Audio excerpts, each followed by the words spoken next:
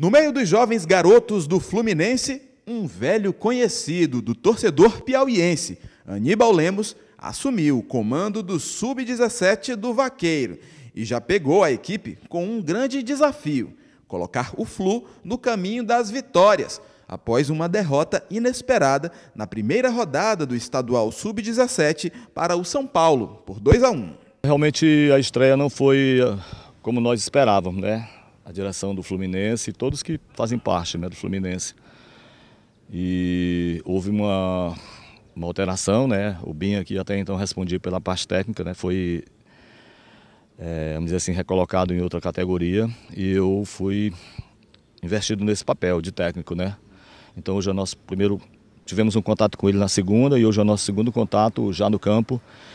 E vamos tentar, vamos tentar fazer eles entenderem que o Fluminense não é que tenha que ganhar de todo mundo, né? O Fluminense é um time que tem uma estrutura, que dá uma estrutura para eles e que eles possam valorizar. Eu sei que a derrota, o São Paulo foi um time que realmente buscou o resultado com todas as suas possibilidades. E o Fluminense precisa, o jogador precisa entender isso, né? Que sempre vai ter uma luta muito grande dos adversários para com o Fluminense, né? Em busca de resultados. Então a gente precisa ter essa consciência, essa consciência e, e poder sempre estar de alto nível. Entre os atletas, a derrota, claro, não caiu bem. E que o diga o capitão do time, Faendel. A gente vem de uma, de uma derrota do, na estreia logo do Campeonato Piauiense. Eu tento sempre é, passar para os meus companheiros confiança, que vai dar tudo certo, continuar treinando, continuar se dedicando, que as dificuldades vão vir, isso é fato, mas não podemos se abater, não podemos se abalar, que no próximo jogo a gente vai tentar fazer melhor. Marquinhos, o atacante que fez o gol do Fluminense na derrota, quer agora que a equipe se empenhe mais em busca dos primeiros três pontos no estadual sub-17. Ah, o planejamento é trabalhar forte né, durante a semana. Vamos levantar a cabeça. Sei que não era o resultado que nós esperávamos, que era sair com a vitória com os três pontos. Mas vamos trabalhar durante a semana, né? Trabalhar os erros que nós erramos.